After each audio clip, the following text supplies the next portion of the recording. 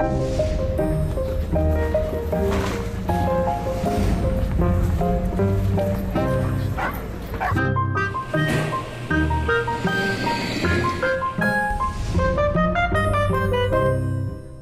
Здравствуйте, в эфире программа «Волжская коммуналка» и я, Данила Дропеза. Поздравляю вас с долгожданным приходом календарной зимы на дворе 1 декабря. С другой стороны, от чисел, даты дней недели зима климатическая не очень-то и зависит. Бороться с ударами стихии региональные коммунальщики начали еще месяц назад, когда сезонные коммунальные проблемы решили неожиданно застигнуть их врасплох. Но вроде обошлось, город был вовремя убран. А что в это же самое время творилось в самарских дворах? Об этом, а также о том, что делать, если ваш дом, объект культурного наследия, выглядит хуже любого аварийного аварийного, хотя таковым не является. Расскажем сегодня.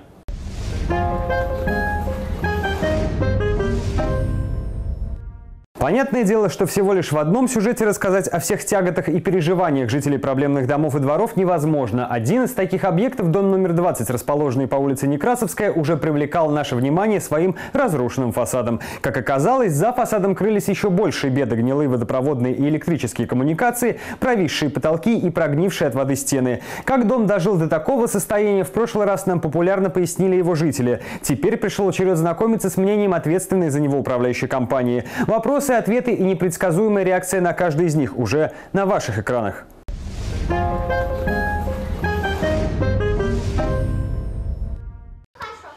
Скорее всего, ну вот эти вот э, электрощитки, я вам сейчас покажу, как. Вот электрощиток, как видите, да? То есть э, вот эти вот пробки крайне, это были заменены еще за наш счет. Угу. Нас ночью мы вызывали э, аварийку, нам сказали, либо мы сейчас напрямую э, подключим, либо давайте тысячу рублей за две пробки. То есть вот это сосед сам вывел, то есть посередине вообще старая пробка, которая я не знаю каких времен. И таких, посмотрите, загляните и сами убедитесь, эта жительница дома номер 20 по улице Некрасовская может показать десятки над головой гнилые потолки, слева и справа коротящая проводка и едва ли не фонтанирующие трубы. Все это видно невооруженным глазом, и на каждую проблему, по словам местных жителей, они уже пытались найти решение в своей управляющей компании. Редакция программы «Волжская коммуналка» решила сразу не верить словам и проверить эту информацию, обратившись за ответом непосредственно в управляющую компанию. Ответ Ответ себя ждать не заставил, и уже с комментариями коммунальщиков на руках Волжская коммуналка решила вернуться к местным жителям. Так, вот это что, ремонт системы отопления в сентябре. В сентябре они вообще у нас тут не были, чтобы что-то ремонтировать по отоплению.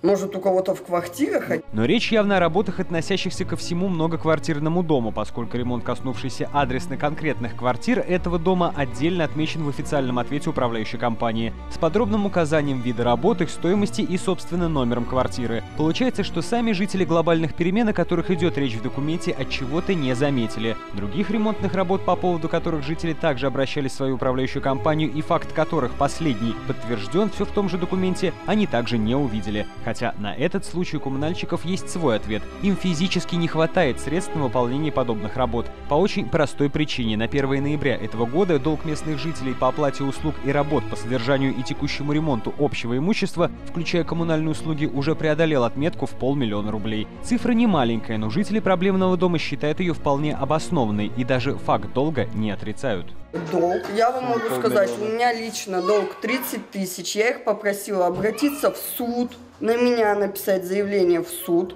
чтобы состоялся суд. У меня за этот год сгорел холодильник, который не 10 тысяч стоит, машинка стиральная за 20 тысяч, водонагреватель. У соседей водонагреватель. Плюс у меня весь гипсокартон пошел волнами, у меня постоянно протекает крыша. То, что я покупаю к себе домой и ремонтирую, мне эти деньги никто не возвращает.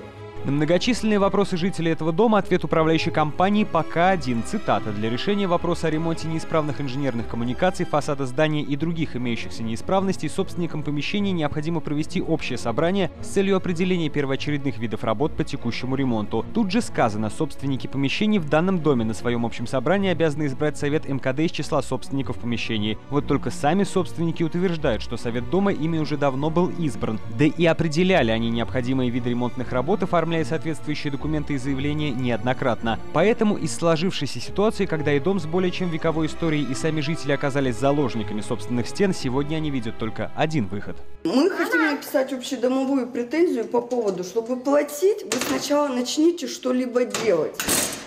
Я не против, вот сейчас у меня придут 150 тысяч, заплатить свой долг. Но дело в том, что а кто мне ущерб возместит? Чтобы и без того большие проблемы этого дома не раздувать до гигантских масштабов, Волжская коммуналка решила оставить местных жителей тет-а-тет -тет с ответом управляющей компании. Сами жители пообещали, как только их буквально застывший во времени дом коснутся хоть какие-то изменения, они обязательно сообщат, а быть может и снова обратятся за помощью. Волжская коммуналка, в свою очередь, продолжит следить за развитием этой истории.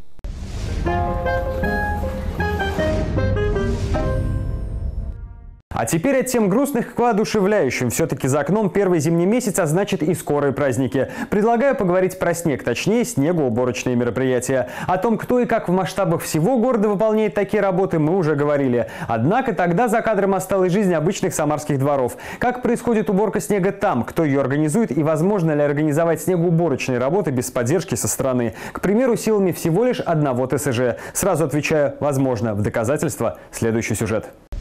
Música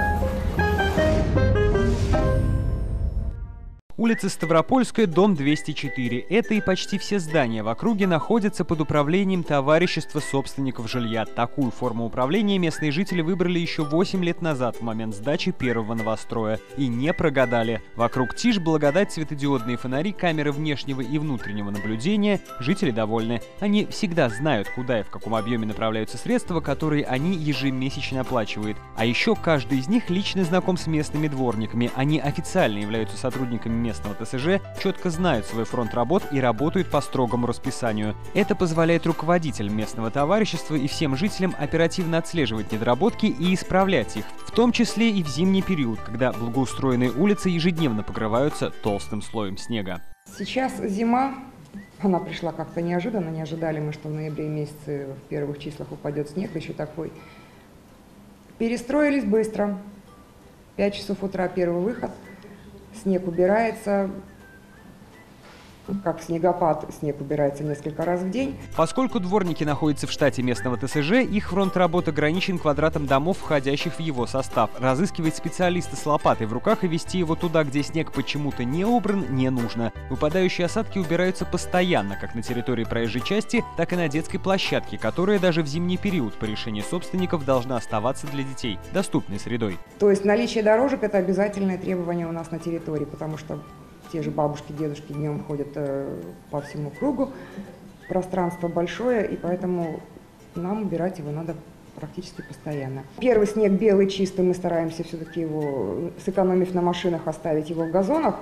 А потом, когда идет городская соль, городская грязь, то это уже невозможно в газоны растолкать, мы вывозим, конечно же, снег. Бюджет ТСЖ складывается из платежей всех собственников жилья и, понятное дело, ограничен. В связи с этим большую часть работ в этих дворах приходится выполнять вручную. Такие работы и оперативнее, и дешевле, чем уборка снега с помощью специализированной техники. Хотя и без нее не обходится. Однако говорить о том, что судьба и коммунальный покой местных жителей целиком и полностью находятся в их руках, тоже нельзя. Активные и инициативные собственники уже давно заинтересовали районную администрацию, которая, хоть и не погружается в дела ТСЖ с головой, все же помогает ему во время благоустроительных и уборочных работ. Снег и дороги у нас очищаются регулярно, э, ну, по времени, по, по необходимости.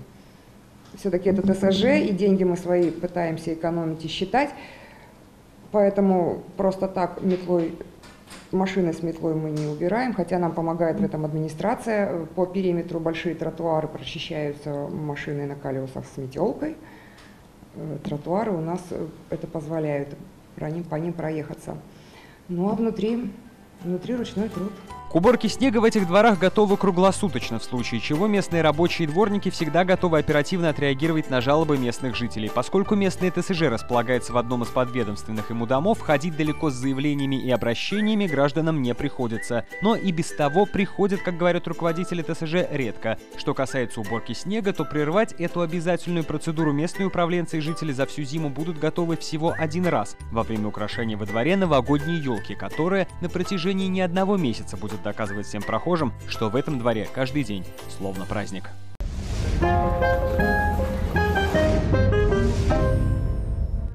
На этом у меня все. Следите за новостями сферы ЖКХ в эфире и на сайте телерадиокомпании «Губерния». А если вам есть на кого пожаловаться и о чем рассказать, смело звоните к нам в редакцию по телефону, указанному на ваших экранах. Улыбайтесь, не замерзайте и держитесь, люди. Thank you.